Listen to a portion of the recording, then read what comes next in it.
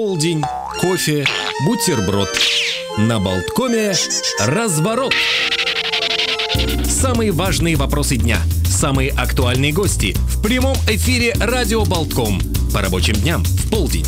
Участие слушателей обязательно. Разворот. Разворот.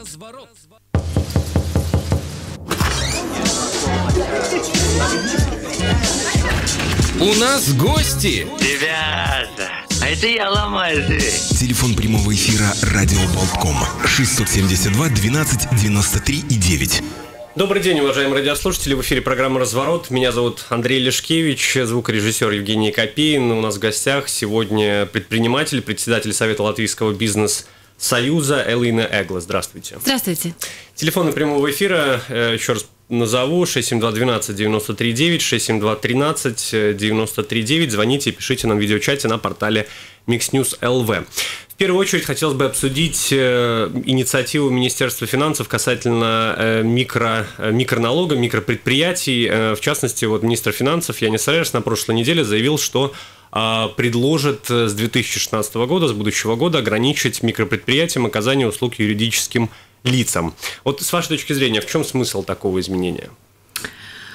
Э, мне думаю, что наверняка министру очень трудно бороться с той болезнью, которую осуществляли некоторые большие предприятия, которые своих сотрудников, э, к сожалению, э, заставили подписывать новые соглашения о сотрудничестве в рамке микропредприятий, а не работника. И достаточно много людей таким, таким образом образом, а, которые работали только на одного клиента а, и реально являлись а, работниками, стали как бы предпринимателями, э, что, конечно, не соответствует реальности. И, конечно, такой ситуации люди, которые реально работают, э, не получают социальные пособия, также государство не получает э, в социальный бюджет. И, ну, эта ситуация создала наверняка такую яростную инициативу, которая, ну, очень на данный момент боком обошлась, потому что э, есть, есть такая притча, да, что мы детку-то выливаем вместе с водой, да. Ну вот такая ситуация и получилась, потому что это, это, это, это просто абсурд, э, потому, ну реально подумаем, если сейчас приближается Рождество, э, маленькая компания там и, и например, микропредприниматель э, делает какие-то сувениры, и большая компания могла бы это для своих сотрудников купить, ну, там, не знаю, 150 штук, да, а, они просто не смогут этого делать, да, ну, это, это, это абсурд. Ну, а вы считаете, что для работодателей, вот тех, о которых вы сейчас говорите, созданы условия, чтобы их работники могли работать на условиях, как вы сказали, работника, а не вот прибегать к таким вот методам обходным каким-то? А, созданы а, такие условия государством? Я думаю, что очень легко по тем огромным ресурсам, э, которые есть у Волсения Денес, вычислить людей, которые работают действительно только на одного, одну реальную Э, компанию и увидеть вот эту, как сказать, этот кластер, да, это очень легко выявить, э, очень легко подать запрос, где же еще две, э, две три, два-три договора, которые утверждают, что вы реально предприниматель, а не работник, да, эта система, она действует. Просто вопрос, почему она не работает, да, и как, как ее заставить работать, это как бы, ну, действительно такой, я скажу, такой, ну, технический вопрос, да.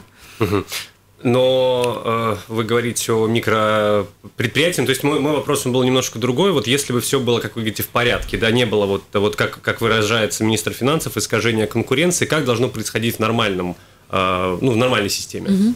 В нормальном, э, нормальном мире мы видим, что ремесленники, также э, разного э, услуга создающие люди, они используют такой режим налогообложения везде в мире, да, это, это ничего новое, да. И человек просто понимает, что он предприниматель, он на себя берет больше риска, и он за него также и отвечает. И в так, так, таких ситуациях он тоже понимает, что он будет иметь меньше социальных гарантий, чем если он будет являться работником. Ну, да? в итоге удовлетворен своим положением? Я, я думаю, что каждый, каждый из нас может выбрать ту, ту систему налогообложения, по которой мы желаем работать. Смотр... А проблема тогда в данном случае в чем заключается? Я думаю, что проблема была, была в том, что люди, которые реально работники, являлись микроналогоплательщиками. Да? Но опять же, ну, если мы смотрим на эту, эту ситуацию, это ну, я говорю, очень легко э, выявить, где люди работают на, на одну компанию и где даже вот, э, не знаю, группа людей, которые работают на одну компанию, и где это реально ремесленник, который делает свое, свое дело. Да? Ну, там... Ну, а чисто теоретически, точнее, по закону, скажем так, микропредприятие, если ты работаешь вот в этом статусе, оно разве подразумевает, что ты должен оказывать услуги именно многочисленным каким-то, как вы говорите, компаниям? Э, ведь, нас... ведь чисто по закону ты можешь работать действительно со своим партнером, найти какую-то свою там свое место и работать, продолжать в этом статусе. Mm-hmm. Нет разве? Я, я сама не являюсь микроналогоплательщиком, но насколько я, я знаю, то э, как минимум для самозанятых было требование, что у тебя должно быть как минимум два контракта, два, два, э, два как бы уже э, клиента, э, и тогда тебя такой статус проявляют. Я, и я думаю, что такой же прецедент мы можем использовать также и если вот ну, есть такая проблема, с которой ну, никак не можем бороться, то такой же принцип он, он может быть применен. Угу. Как, с вашей точки зрения, вот такие изменения, если они вступят в силу, отразятся, собственно, на работниках? Каков ваш прогноз? А, если мы говорим о микропредприятии, э, микропредприятии, которые платят микроналог, это достаточно много, много людей, а, это очень серьезно изменит их отношение вообще к предпринимательской деятельности – и мы уже на данный момент видим по исследованиям, которые были сделаны а, по заказу СЭБ-банка во всей Балтии, что Латвия, к сожалению, а, та страна, где самое большое падение а, числа людей, которые желают бы начинать свой бизнес. Во-вторых, очень много людей, которых, которые уже работают в этом режиме, они просто не, не понимают, как им дальше во-первых, устраивать э, а, свои отношения с клиентами, да, потому что это и формирует совсем иначе цену.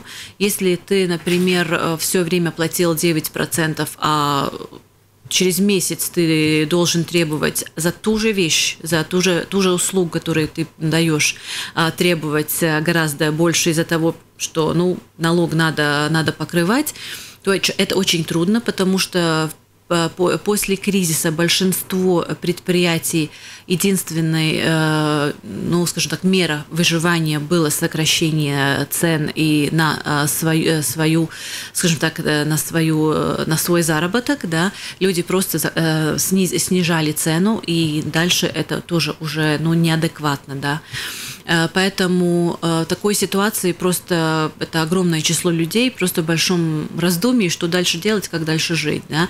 А если мы смотрим э, не только этот экономический или финансовый аспект, то надо понимать, что это люди, которые сами делали свое дело и не шли на самоуправление за социальным э, способием, которые не шли у государства э, э, спрашивать э, какой-то безработный э, э, э, поддержку, да, и, э, ну, конечно, мы понимаем, что это уже э, социальный вопрос. Это не только экономический вопрос, что мы кому кого-то заставим платить чего-то больше.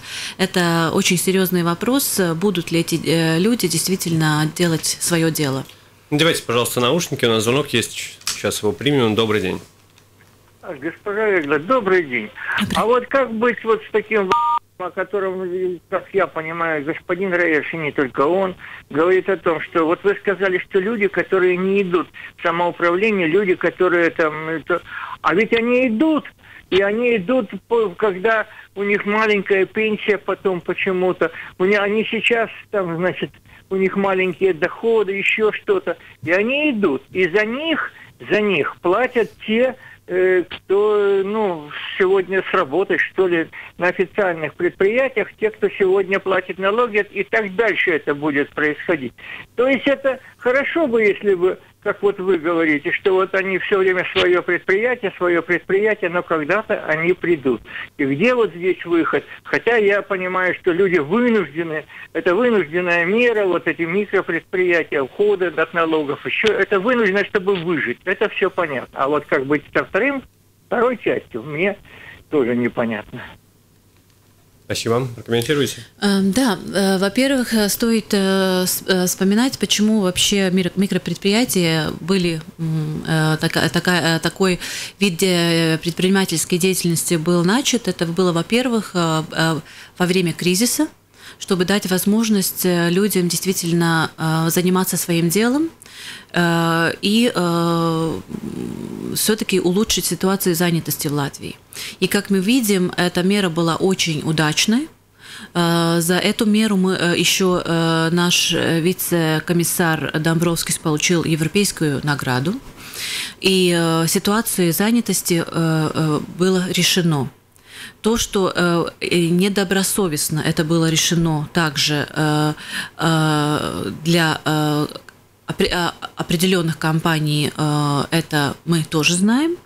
И поэтому, конечно, ну, на, надо понимать, как мы, э, как мы эту систему улучшаем и укрепляем и какие будут те, э, те, э, те э, критерии, по которым человек может заняться такого вида деятельности. Это как бы одно.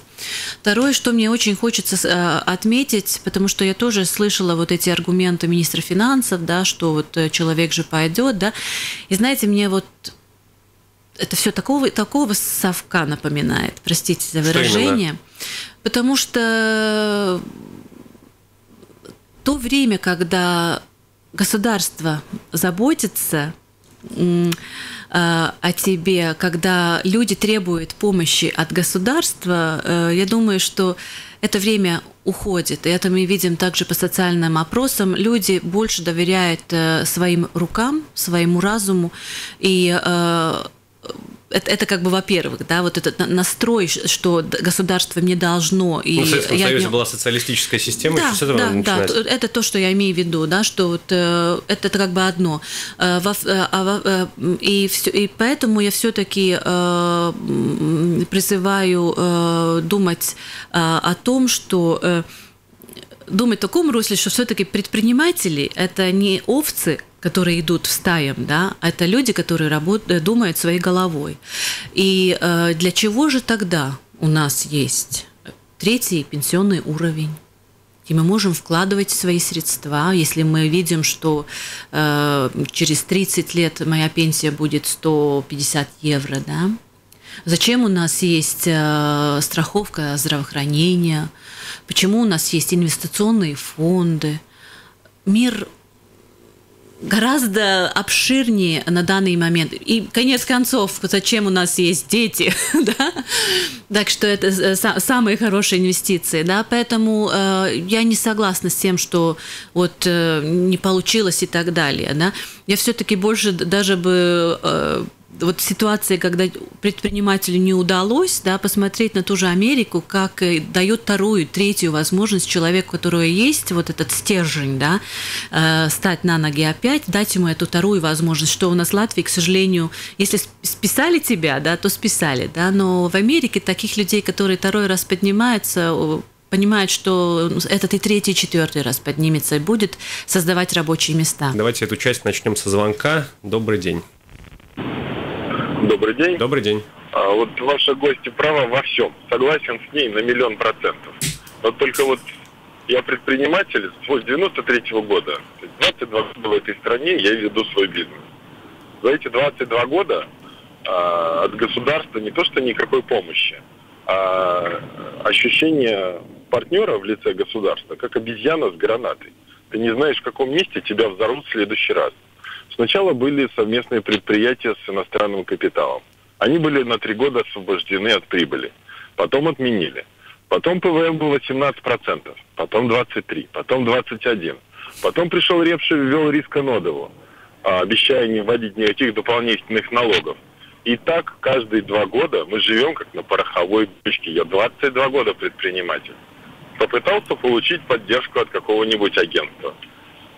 Либо под залог недвижимости, либо на проект не меньше миллиона лат. Ну, тогда еще. То есть полтора миллиона евро. То есть э, любой предприниматель может вам сказать, что от 50 до 150 тысяч евро кредит получить на бизнес в принципе невозможно. А именно с этого капитала стартует любой малый средний бизнес. То есть на исследование рынка, на первоначальную покупку помещения, каких-то э, инвестиций в производственные мощности, это сумма где-то там ну, до, до 200 тысяч евро в среднем. Эту сумму получить в Латвии невозможно нигде. В принципе, нигде. И вот ваша гостья права. Но голос Союза предпринимателей, который должен был меня бы защищать, я вот услышал по радио первый раз.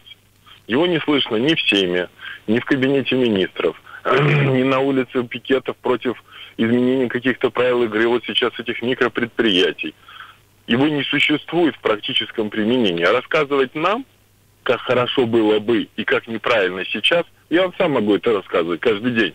Я mm-hmm. знаю об этом. Что вы можете сделать для нас, чтобы нам было легче? Спасибо. Спасибо. Mm-hmm. Да. Во-первых, это нам позвонил реально уже динозавр латвийской экономики, да, потому что в среднем где-то Латвии у нас 7 лет э, срок э, жизни компании, да. Бизнес-долгожитель Да, супер.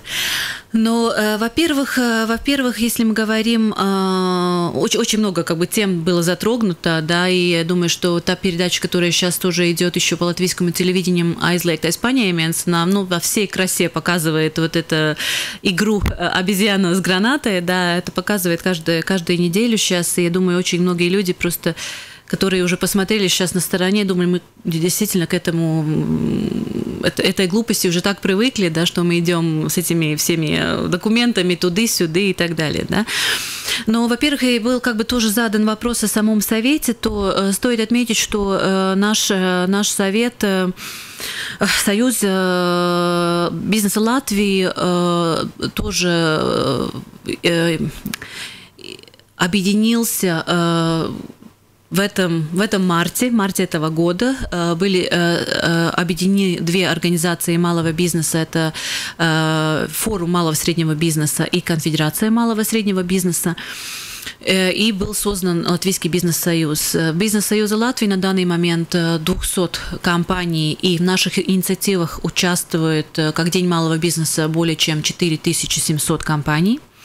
И мы им помогаем реально найти своих покупателей, потому что мы знаем, что у компании может быть самые красивые домашние странички и что только еще, но мы не знаем, что они существуют, поэтому э, интернет-платформа www.mazabiznesdiena.lv помогает нам э, ну, найти этот малый бизнес, чтобы он рос.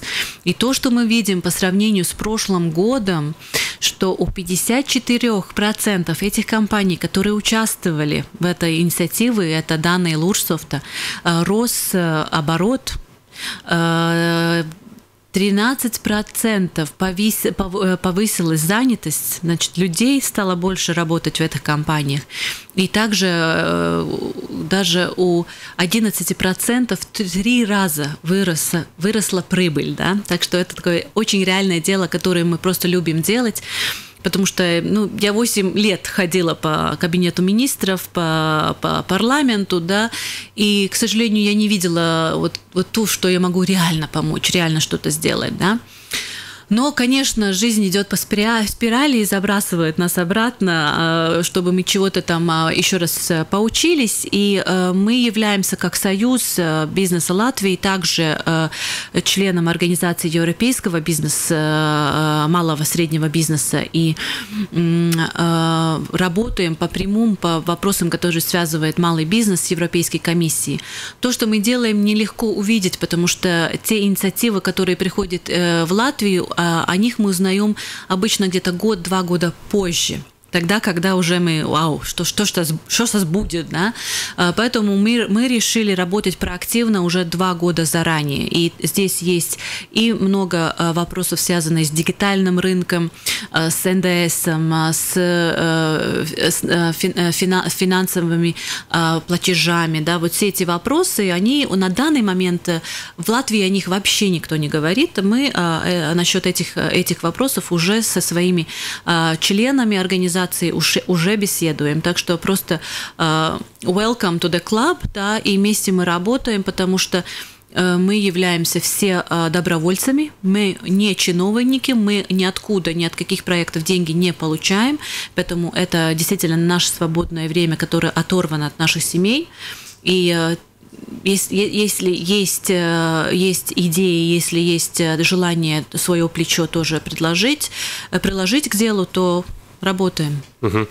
И если вернуться немножко назад к вопросу микропредприятий, вот отвечая на вопрос о том, как это может э, отразиться на э, работниках, тех, которые на, на, этих, на этих условиях работают, вы в основном говорили о том, как изменятся их отношения. Но если говорить все-таки физически, как на них это может отразиться, вот как, с вашей точки зрения, вот в частности, Латвийская торгово-промышленная палата довольно так громко заявила, что это может ударить по 60, как минимум 60 тысячам работников, которые просто лишатся работы.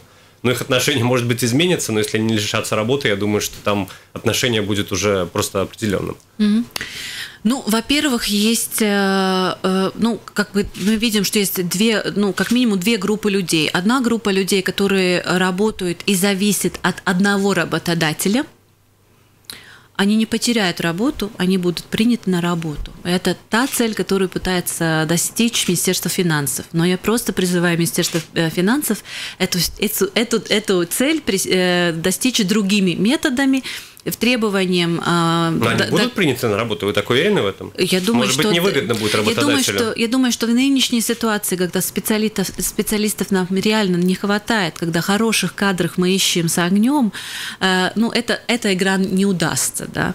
Но в таком случае урезать что-то придется, наверное, если а, условия будут Нет, просто будут расти цены просто будут расти цены, потому что за этих сотрудников работодатель, который использовал... То есть зарплаты вы имеете в виду? Э, ну, не только зарплаты. Я думаю, что, э, э, ну, как... Ну, и, и, и налоги больше, да, и кто-то за этих налогов, ну, кто-то платит, это платит клиент, это мы с вами все будем платить за это, да, мы все будем еще платить больше 21% будем за все э, а, обслуживание недвижимости в новом бюджете, все э, э, оплачивать за, за наше свободное время провождения будем на 21% больше платить и так далее. Это, это, это идет на повышение цен.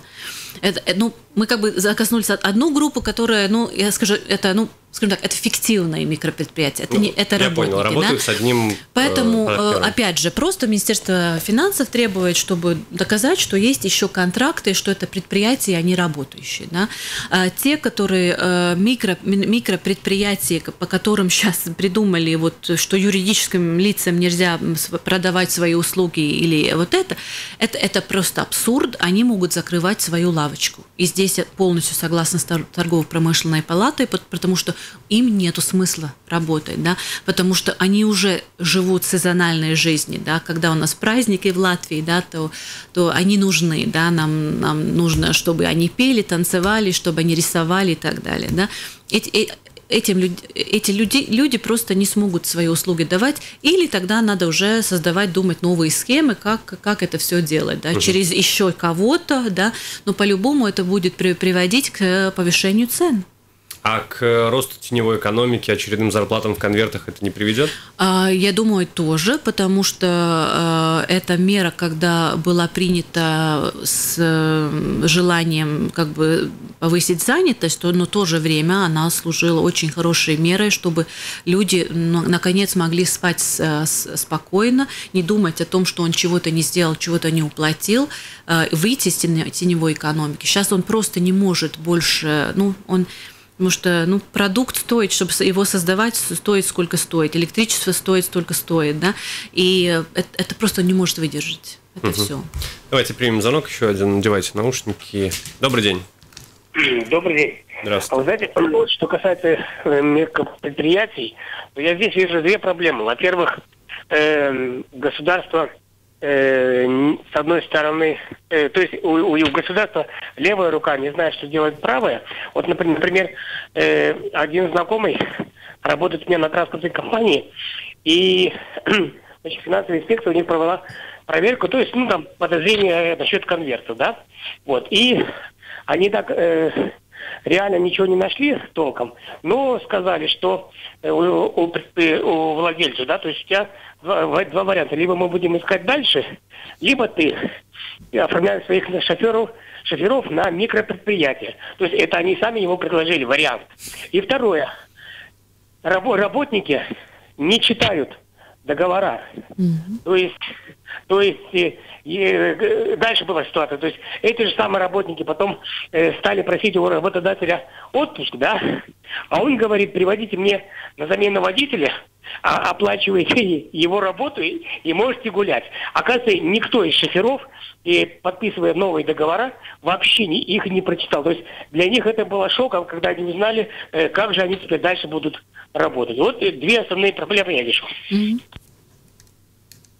Да, пожалуйста, добавите что-то, прокомментируйте. Ну, я, я думаю, что это и, и- и показывает абсу- абсурдность ситуации, когда у нас сегодня одна политика, да, занятость и выход из теневой экономики, а на второй день у нас э, политика э, больше госказну, да, надо поддерживать э, все наши затраты, да, как бы число людей, жителей Латвии меняется, но бюрократия у нас не меняется, да, их надо содержать. Это, это, конечно, и во-вторых, ну да, проблема есть, что люди, люди, которые были заставлены пере- перейти на такую, на такую а, скажем так, схему работы, они не понимали, что они делают. Большинство случаев это все-таки люди, которые, ну, рабочие, да, реальные рабочие люди, которые, ну, не знали, что, что у них никаких социальных гарантий не будет. Но, опять же, там, там я говорю, что это, это, эту, эту ситуацию можно очень легко проанализировать, где это рабочий, а где это реально, ну, где это э, какой-то реальный пред- предприниматель. Я зачитаю сообщение из видеочата. Сейчас, выплачивая зарплату в 700 евро работнику, налогами я плачу 9%, 63 евро. Если отменят микропредприятие, то чтобы выплатить официальную зарплату в 700 евро, мне нужно где-то найти 1255 евро, из них налоги уходят 555 евро. Ну Да. вот такая, так обстоят дела? Да, Ну да. а предприятия пойдут на это, вот если реально будет введена, введена эта инициатива, реализована инициатива Минфина, Я думаю, во-первых, я уверена, что этот абсурд не пройдет. И предприниматели уже э, очень активизировали, чтобы что-то такое не было, да, поэтому я думаю, все способы будут применяться, чтобы э, как бы абсурдной политики не было. Но, во-вторых, это, конечно, это э, ну, как бы этот, этот один пример, он очень, очень глубокий, да, потому что, с одной стороны, э, рабочий час человека определенной профессии стоит столько, сколько он стоит, потому что человек, чтобы проучиться, инвестировал свои средства, чтобы получить эту профессию. И я думаю, что эти вопросы в развитых странах регулируются отраслевыми э, контрактами, где мы говорим, что за час такой-такой там, там работы мы меньше не платим. И мы все помним, какой скандал был с нашим, э, нашими строителями Швеции. Да? Это как бы, во-первых, да, это просто человеческий э, э, тоже подход. Да? Если ты учишься, ты понимаешь, что ты инвестируешь свое, свое, свое время, и ты за него будешь получать. Это со стороны работника. Со стороны работодателя мы видим э, вторую часть, да, что мы пытаемся каким-то образом э, на... э, и, и- и чаще мы здесь говорим о, э, мелкой торговле, здесь мы говорим о каких-то э, строительских работах, логистических услугах. Эти, эти отрасли, которые зависят от внутреннего потребления. А внутреннего потребления у нас очень-очень мало, у людей денег нету. И чтобы люди за эти услуги оплатили по полной, как мы сейчас говорим, с полным социальным налогом, с, пол, с полным, да, то где будут покупатели? И мы понимаем, что вот этот э, картежный домик просто рушится, да. Э, Поэтому, э, поэтому я думаю, что надо все-таки пересмотреть, налоговое бремя, надо пересмотреть, как мы его на какие э, э, э, процессы используем, и э, тогда мы можем ну, какую-то модель э, тоже разработать. И такие при, примеры тоже мы когда-то с Министерством экономики делали, когда мы создавали э, э, на, на облегчение налога на э, подоходного налога на предприятие для инвестиций на развитие. Это мы, мы моделировали, как это все будет действовать. Да? И такие примеры могут могут э, очень-очень помочь разрабатывать нормальную систему. Угу. Да?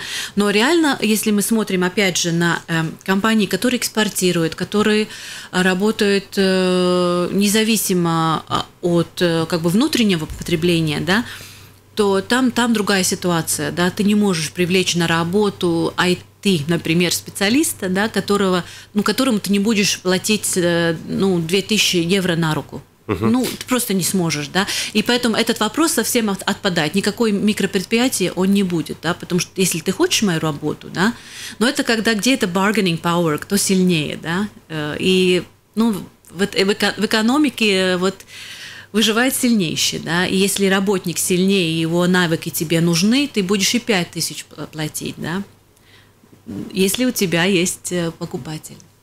Ну что ж, наше время истекло. Закончим на этом сегодняшнюю программу. Элина Эглы была у нас сегодня в гостях, предприниматель, председатель Совета Латвийского бизнес-союза. Спасибо вам, что Спасибо. пришли. Программу провел Андрей Лешкевич, звукорежиссер Евгений Копейн. Всего вам доброго и до свидания.